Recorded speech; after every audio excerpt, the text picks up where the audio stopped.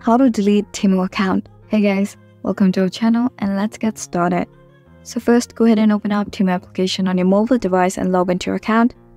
Once you're logged in, tap on your profile from the bottom right here.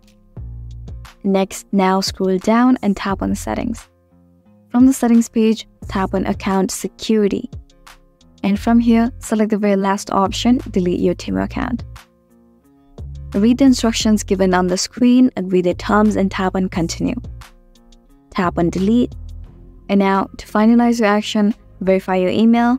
Once the verification is completed, the request will be sent and it might approximately take about 7 days to get your account deleted. But that's it. I really hope you found this video helpful and if you did, please make sure to hit the like button and subscribe to us for more great contents. Thanks for watching.